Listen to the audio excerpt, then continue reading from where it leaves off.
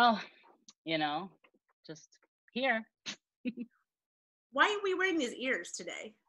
Well, it's our first episode of What's Going On Stage Door, and we have a very special guest. Who could it be? Let's find out. Yeah, drum roll.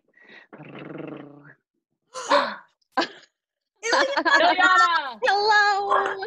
Oh, and Clyde is barking for you. Hi, Clyde. That's his alarm. He'll- He'll stop in a minute. Um, we are wearing Di- we are wearing Disney and Mickey ears for in honor of you. Thank you. Oh my gosh, that's so nice.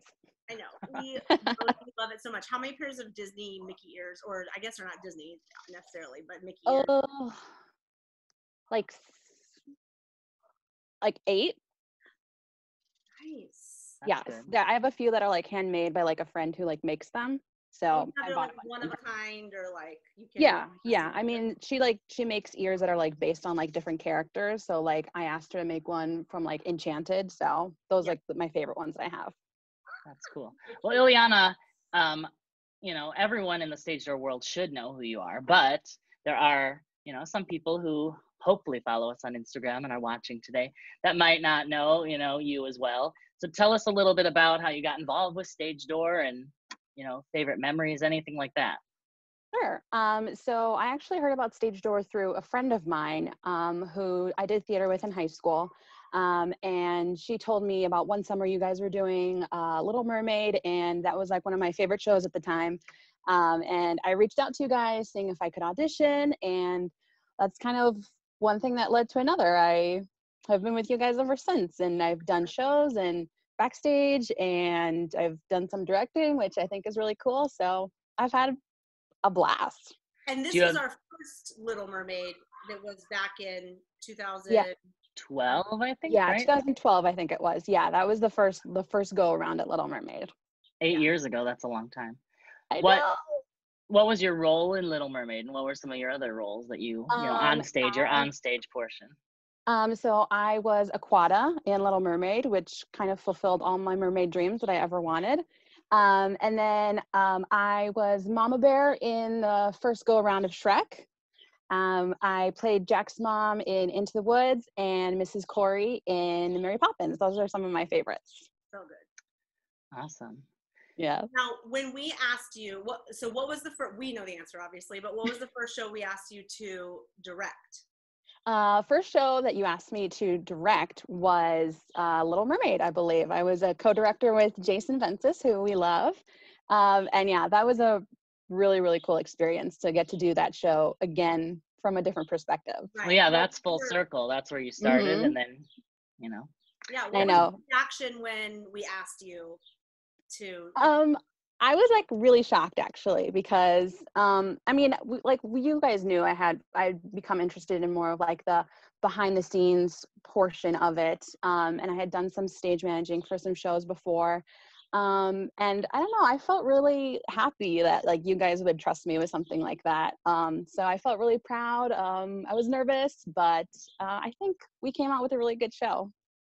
Well, one thing we knew about you was you see a lot of theater in the Mhm. Chicagoland area, area and any other place really that you can, and you're really like you have you see it with like a really critical thinking mind, m- meaning like you like you don't just say something is good or something is bad. You can tell us or tell people what you did or didn't like about things. So that was like a number one. Don and I talked about like yeah, she knows a lot about theater. She does her research. She like knows facts and she's super smart about things. So it was like, duh, yeah, this is like the next step for her. So it was really That's really nice to hear. yeah, and I mean, and so creative, like coming up, you know, it wasn't just like, oh, I've done Little Mermaid before, I've seen Little Mermaid before, or Beauty and the Beast, or anything. You had like your own, you know, you bring your own fresh ideas, and it's like really awesome to like Yeah, I think I think see that. a lot of it for me was trying to make sure that the ideas that I came up with were like up to your caliber. I mean, anyone who's seen a stage door show knows that it's in a class of its own. So um, it was it was tough, but like in a good way, in a creative way to like try and think of like ways to do different things that you know would be worthy of stage door. Well, you're also so good at like talking to the cast, like in a, uh, some a motherly tone, but also a stern like tone that like that they understand what to do, but also Yeah. mean. You know what I'm saying? I like a- know. it's like such a hard balance. We know it's such a hard balance, but you do a really awesome job with that. I mean, I think I could still like learn like how to be a little bit more stern. I think sometimes I am like maybe too understanding sometimes, but I think it's I think it's good for kids to have that person who I mean they feel comfortable going to. I mean, I don't want to be, you know, the type of director that like kids are scared of. I mean, I didn't want that when I was a kid, so Yeah. And then, so after that, the next summer, all by your lonesome, you directed Beauty and the Beast. What was yeah. that experience like? Uh, I loved it so much. I think that was a show that I didn't really think about a lot. Um, I mean, Little Mermaid was just like I grew up loving that movie and it was just like ingrained in me and to get to do it twice was like dream beyond dreams. Um, but Beauty and the Beast kind of like grew on me as as we did it. I mean, the fact that you guys that we did like another Disney show was just I mean, great for me. Um, but yeah, I think it, it it was a really cool experience, and to like get to grow into those characters um, that like I hadn't really put much thought into before was really cool. That was really special. Well, Someday we'll we'll let you, you know, not have to only do Disney, but you are a resident Disney director. Yeah, that's what I said. I mean, yeah, for now I'm I'm really cool with it. Um, and actually, this week would have been Tech Week for Moana, another Disney. yep. that's, That's crazy.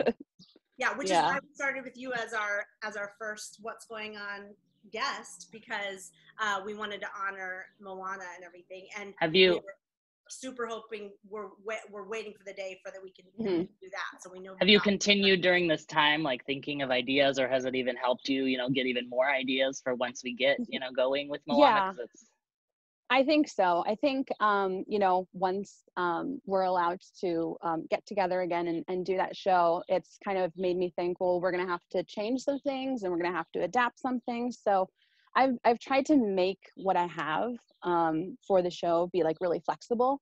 So that way, if we do need to change something or if we need to have less kids um, in a certain scene or something like that, I'm, I'm trying to um, make sure that it's still a little flexible. But yeah, I'm I think I'm really excited and I have all my ideas tucked away in my little notebook. So I'm excited. Yay! yeah. Well, Well, one thing that's super, what I was gonna say about Iliana to the audience is that Iliana is like an unsung hero that like no one really sees the face very much of. Like you do your job, you don't. It's never like there's never drama. There's never anything that like goes wrong, or if something does go wrong, you take care of it, and you're never like you never demand to be the forefront of the page and everything like that and it's just like really awesome that shows your work work, work ethic and everything we love you for that so we Aw, hope you're gonna good. be with us for a very long time I hope so too. Yeah.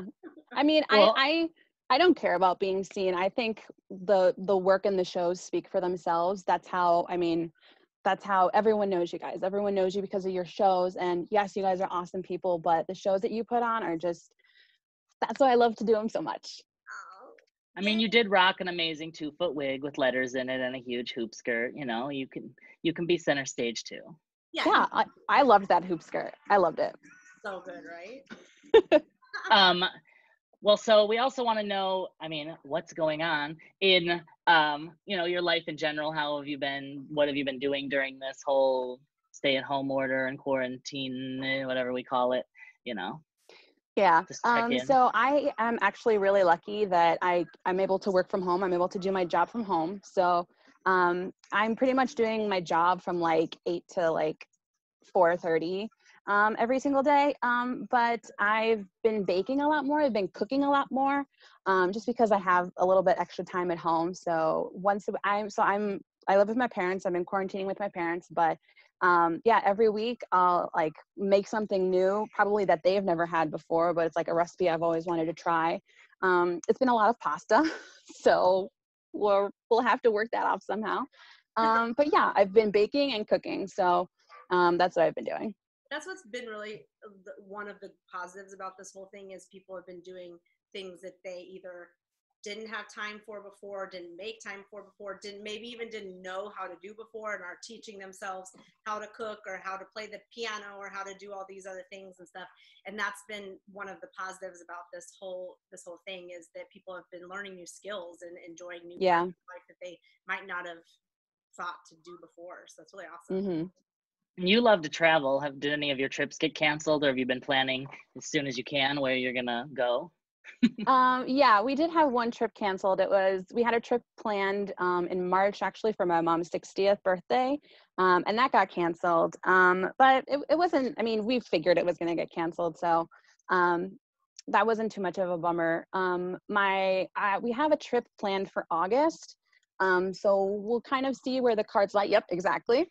Um, it was actually supposed to be for my cousin's wedding. Uh, she did postpone her wedding, um, but we think we're just going to go ahead and just have a little vacation anyway for five days. Yeah, where was it supposed to be? Oh, Mexico. Sorry. Yeah. We just love going there. Awesome. Well, Iliana, it's so good to talk to you and see your face. Yeah, you guys too. Yay. And we have something special coming out on Friday that you are going to love. I can't wait. I'm so excited. May or may not cry. Get a box of Kleenex. I'm just saying. At the ready. At the ready. Okay, bye. We love Bye. Bye. Thanks, Thanks, Juliana. guys. Thank you. love you. Love you guys too.